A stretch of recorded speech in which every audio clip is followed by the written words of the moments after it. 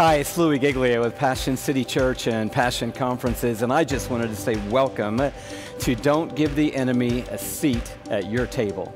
I'm so glad that you've decided to take this journey with us, and I'm really believing today that this message has the power to totally change your life. I know that that was true for me and I'm believing it can be true for every single one of us today. So, welcome to the Study Guide Journey. I'm really glad that you're here for session one. I'm standing in Atlanta, Georgia right now with some friends from our church at Passion City, and we've already prayed and asked God if He will meet us in this moment in a powerful way. And we're praying the very same thing for you, whether you're in a church building or a dorm room or sorority house, or you're in someone's living room or den or out on the back patio, wherever you are right now we're believing that God is going to be in the midst and that He's going to speak in such a way that you're going to know this message is for you.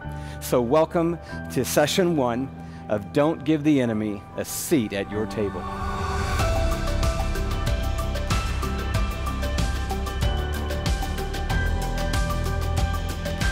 A few years ago, I got a text that literally changed my life. And when I say literally, I'm not saying literally like we almost always say literally when we mean figuratively. I mean, this text has impacted me almost every week of my life in the year since I received it. It wasn't the longest text I've ever received, but it was one of the most powerful texts I've ever received. It stopped me in my tracks and completely changed my focus. And just to give you a little backstory, we were planning a church. We were starting on some new ventures together. We were plowing new ground, and we ran into some headwind not long into the process. And we were in a place like a lot of us end up in life where you're not sure who's with you and who's against you. And you're like, uh, are, are, these people on, on my side or are they on the other side? And I felt like arrows were flying my way. I don't know if they really were as many of them flying my way or not, but the enemy has a way of convincing us that one arrow is a hundred arrows or 10 arrows or a thousand arrows. And I was sort of living in that protective bubble of wanting to know who's got my back. Have you ever said that before? Man, I love this guy. He's got my back. I don't know if I can count on those people, but she's got my back. And the process was playing out over time and over months. And uh, I was a believer then, and I'm a believer now. If you give things time, they normally play out, right? And so something had happened. And it had played out in my favor, and I was pumped about it. I'm sorry to admit that today, but I, I was excited that something had played out in my favor, and I wanted to share that with someone else who could appreciate that good news. So I texted someone who I knew had my back. And I'm of the demographic, as you can tell, that a long text takes a minute. So, probably 30 minutes later, I had formed this very long, can you believe this? This is amazing. This is exactly what I thought was going to happen. Text. And I hit send, and it was the kind of moment where you don't hit send and then go back about what you're doing. You hit send and you stare at the phone. You are waiting to get the reply. And a minute went by, two minutes went by. I can tell you right where I was standing at the top of our driveway, staring at my phone. Finally, the little wheel starts turning around. I'm like, yes, something's coming back to me now. And here's what I'm thinking I, I worked on this for a while. It's lengthy and wordy, and there are no emojis in it. So I don't want any fist bumps back. I don't want any thumbs up or praise hands back. I want a commensurate response. And so finally, the text appears. And I, and I don't even read it, but I can tell by looking down at it, it's not very long. And I'm like, okay, surely this person did what I've done before.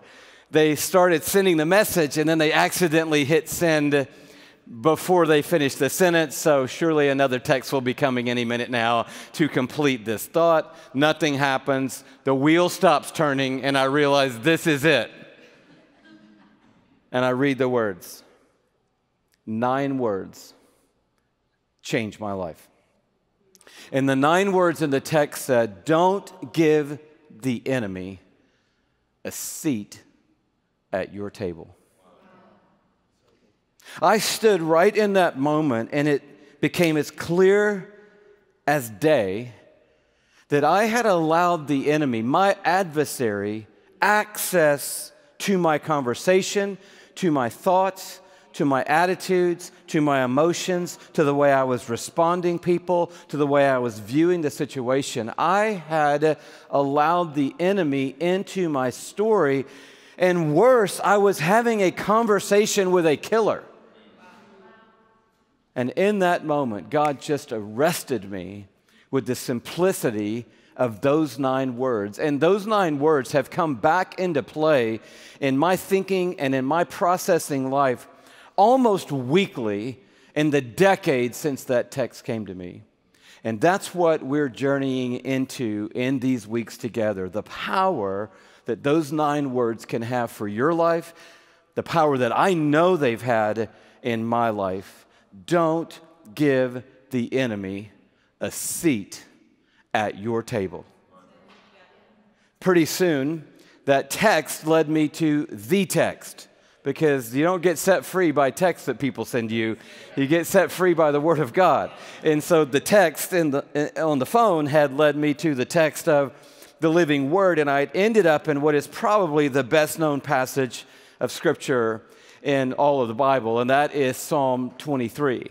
And I want us to look at that a little bit in this session, and then obviously we're going to unpack that all the way through the book, and it will find its way weaving in and out of all the sessions that we do. But before we do that, I just need to jettison all of us from our preconceived ideas of Psalm 23.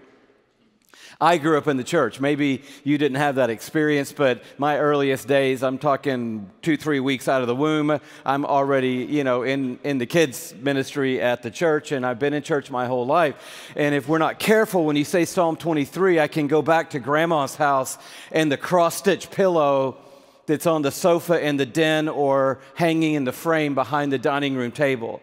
The Lord is my shepherd, I shall not want. I can go back to that photo. Looked like an Olan Mills photo session that we had in the middle school boys' room where it was Jesus with the faraway look in his eye and the shepherd's crook and the lamb, you know, on the shoulder. I can go back to there and all of a sudden I can miss the power and the grit and the possibility and the promise that is in this psalm. This is a psalm of David. David was a king. He was a warrior. He was a leader, he was a fighter. David was a shepherd, and he knew what it was like to be in difficult situations and see God deliver. So, this isn't some quiet, you know, super soft, fluffy, spiritual psalm. This is a gritty psalm from someone who lived a life of really seeing their whole future in the balance and seeing God come through. The invitation is powerful. David opens with this line The Lord is my shepherd. Now, uh, I know we all know that phrase, and you want to just hurry into the next line, which says, Therefore I shall not want, or I shall not be in want. But I want us to stop just with that thought for a moment. He said, I have a shepherd, the Lord. And here's the key thing about this text that I don't want us to miss all of us have some kind of shepherd in our life. We were created by God for God, and if God isn't leading our life, that doesn't mean someone else isn't leading our life. We were made to be led. So if He's not leading, somebody else is leading. Somebody else's opinion, somebody else's position, some kind of internal desire, or somebody's just saying, hey, I'm leading my life. I'm calling the shots. I'm the one in charge. To that, we would say, congratulations, you are your shepherd. So your 23rd Psalm is going to read, I am my shepherd. And I can promise you the next line is going to read, and I am in want.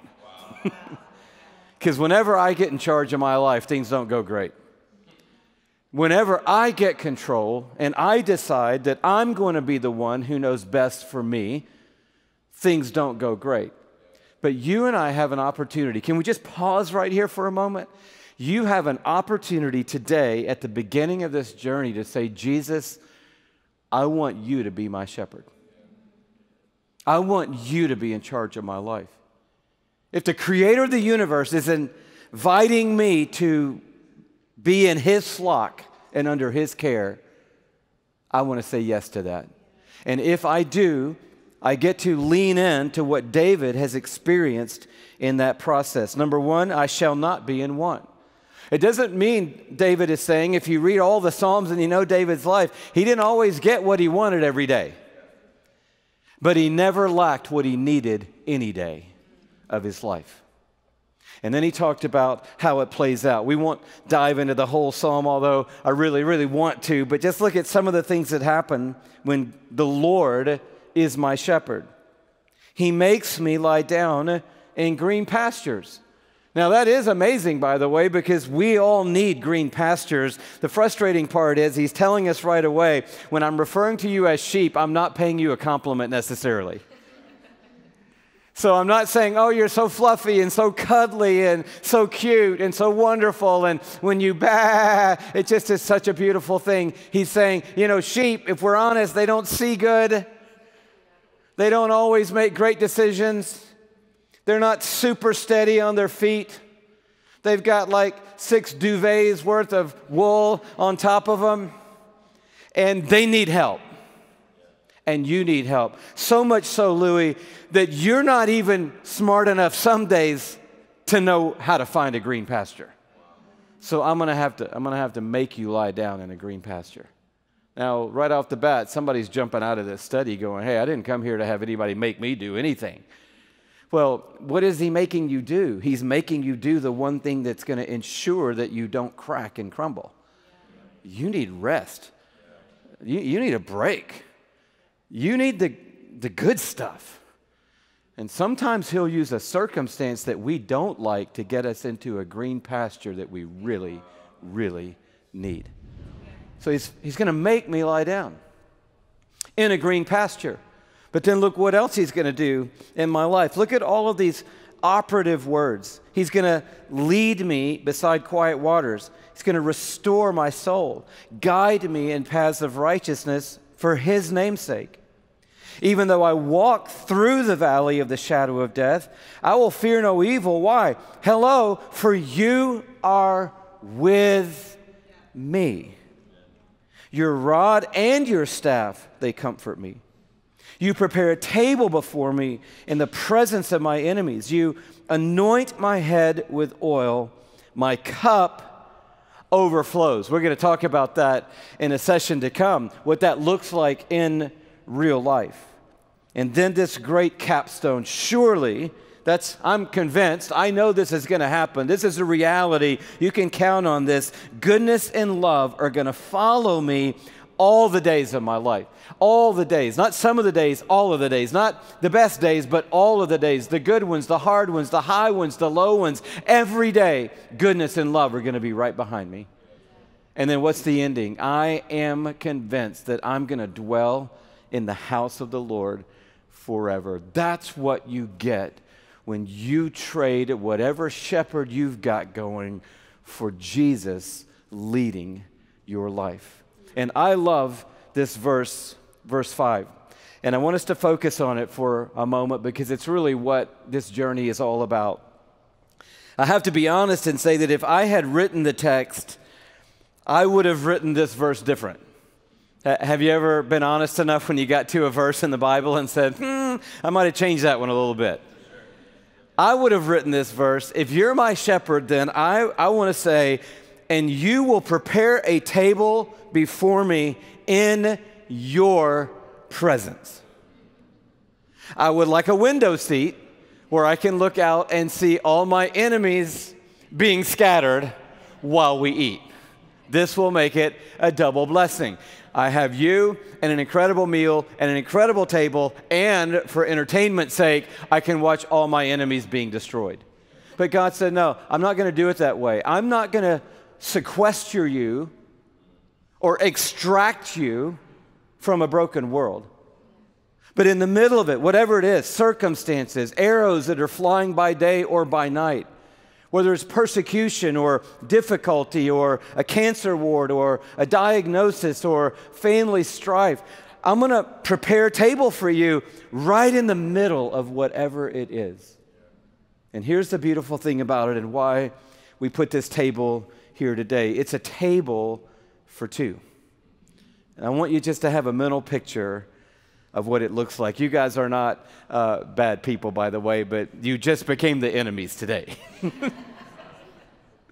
the table is in the presence of the enemy. So just imagine that the arrows are coming from you.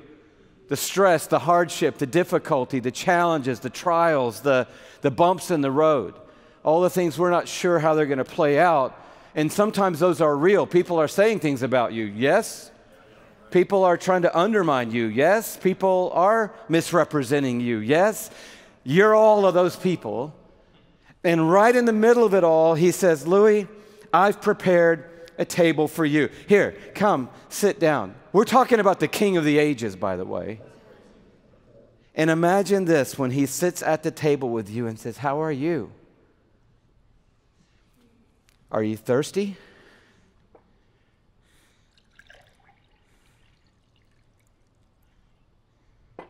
So good to see you. Really, really glad you came. I got everything I could out of the kitchen. How's life? How are you?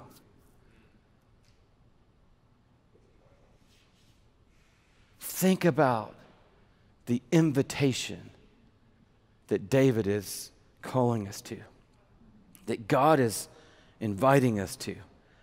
A table with the king.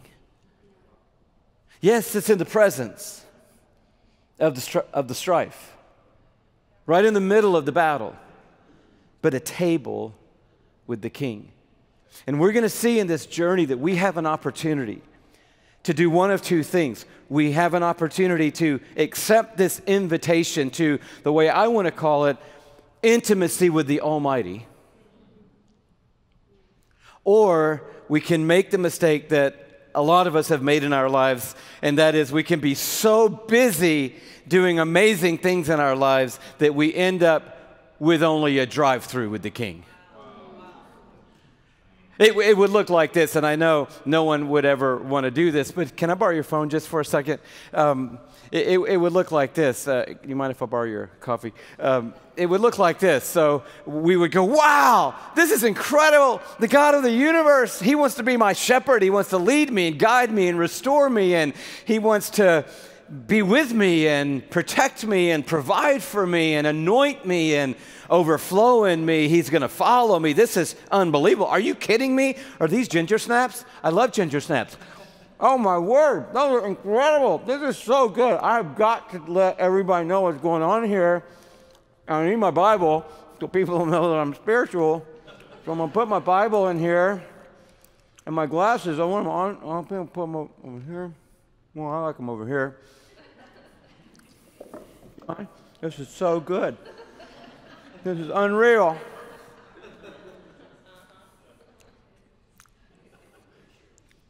No, that's not good. Oh my, this is so good. This is great. I'm going to put a little, little soft light on it. Hang on. Dinner with a king. Boom. People are to love. People are to love this. It's going to blow up. Me, me at a table with you, unbelievable. By the way, thank you. This is I, I have no idea. I'll if I didn't have two, I thought I had a meeting, but I got two meetings this morning, so I've got a jet. But you're awesome. This is awesome. It's all amazing. Praise you, by the way. And um, I'll check back in with you as soon as I can. That, that, was, that was great.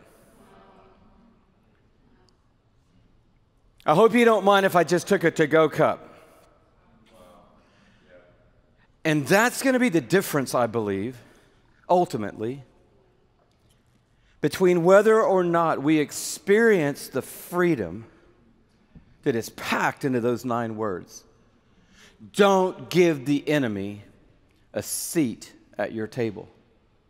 And I know it sounds simplistic, especially if you've been around church for a minute. But the main way that I don't give an enemy a seat at the table is by taking my seat at the table and receiving the invitation that's being extended to me. Because there are a lot of things in life that you cannot control. There are a lot of situations in your world right now that you cannot control. But you absolutely can decide whether or not you want intimacy with the Almighty or if you'll be happy with just a drive through with the King. And I love how Jesus said it in his own words. He said, Taste and see that the Lord is good. So that's where we're starting this journey. We're starting it with a good God, with a gracious God, with a God of abundance, with a God who says, Hey, I, I, I, put the whole spread out. We're, we, we know right away we don't have a God of scarcity, but we have a God who has a storehouse that is full. And here's the main takeaway we know at the end of it all that it's not what's on the table, it's who's at the table. And we know that He is always going to be everything that we need.